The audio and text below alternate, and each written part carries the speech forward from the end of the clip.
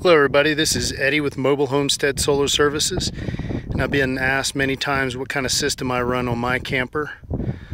We can we call it our house, not our camper, but uh, we have um, right at um, 1K on our roof. We've got uh, six panels plus an external panel and it's pretty windy up here. I'll show you this real quick and then we'll go look at the internal of our solar system.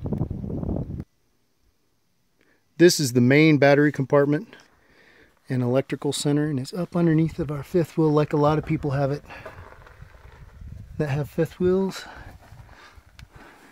It's a mess. It's a matrix. This isn't the way that I install other people's equipment but this is how I've done mine because I've made a series of mistakes and, and uh, add-ons. Um, we have, as I said before, we have about a kilowatt of power between seven panels, six on the roof.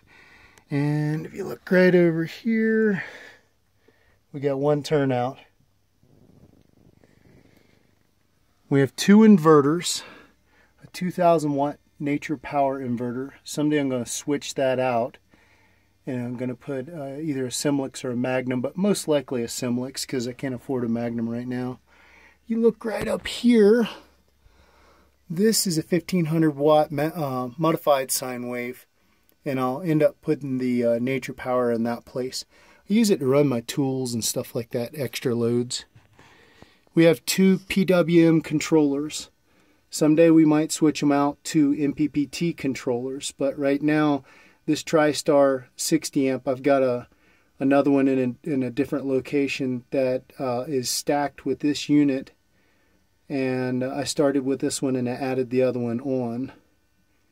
Um, I've got a lot of extra stuff here. We had from other setups that we had and, and grew this system but right now we have two individual battery controls. We run twin battery banks.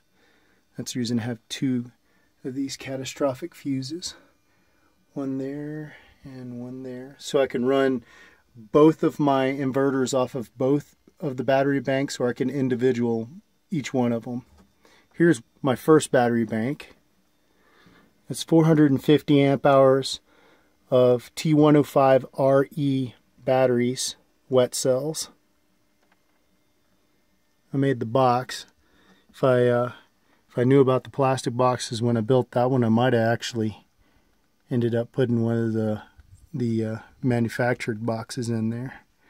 Alright, I'll take you over and show you the other battery area. Okay, this is in my storage compartment. It is right behind the other battery box. And right there is the sister to the other controller. And I also have a battery box right here and I'll uncover it. There you go. This is the other 450 amp hours of batteries. And I know it looks strange. It's in the side rail of the box uh, storage unit in our camper, but it was the only place I could put it because of that hydraulic pump that's in the way up front. So altogether, with this 450 bank and the other one, we have 900 amp hours of batteries and a kilowatt of solar. We'll go inside the house and I'll show you my controllers. Okay, here you go. Here is our monitors and controls we have uh, just a small control on off switch for our inverter. The 1500 watt modified, I have to do that by hand because it doesn't have a remote. This here is our Trimetric by Bogart. Um, this tells us we're at 100% right now. It can tell you your voltage on both banks, your amperage going in or out of the bank, and back tells you we've got 100% in there.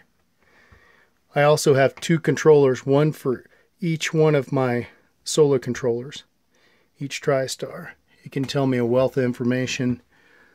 It can tell me um, the amp hours uh, that are going into the batteries, the voltage. Here, I'll scroll down to log data.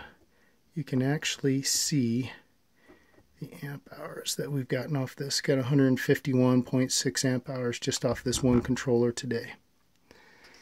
mainly just wanted to show you guys what I run. It's not exactly what I would put in every one of the campers. Ours is, as I said before, a series of mistakes and changes. And, and if I had to start fresh, it would be uh, a lot different than what we've got right now. But uh, I've had a lot of people ask me, so I wanted to show them what I have in ours and uh, what potential you can have with a solar system. You can run just about anything within reason um, on a solar system if it's sized correctly.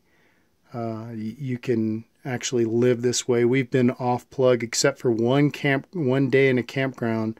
We've been off plug for three months now, or two and a half months, excuse me. So it can be done, and you can enjoy yourself without having to worry about being plugged in all the time. This is Eddie with Mobile Homestead Solar Services. You have a nice day. God bless.